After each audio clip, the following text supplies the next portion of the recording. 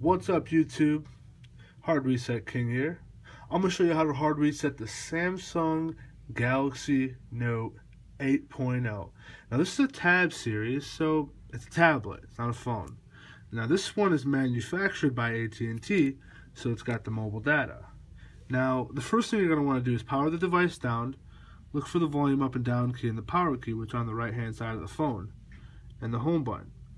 The first thing you're going to do is press and hold the home button and then you're going to press and hold the volume up and the power key for about 10 seconds. When you see the Samsung logo, remove your finger from the power button. So press and hold all three.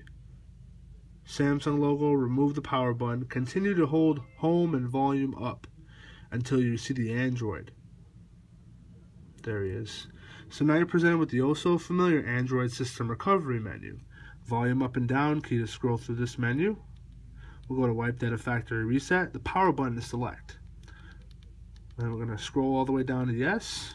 And there we go. It'll initiate the factory data reset. Now, this tablet's already been reset, reset before, and it's fairly quick. Depending on how much stuff you actually have on your device, it may take a little bit longer. Now, this is a great tool to remove any personal information that you have on your tablet when you're looking to change ownership and to, you know, ensure that nobody gets any of your personal information. Now, I recommend removing your SD card when actually doing this process because it may wipe your SD card. Um, uh, just saying.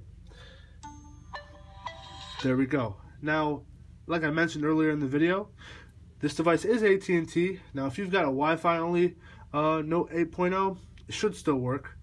Um, outside of that, that's all there is to it.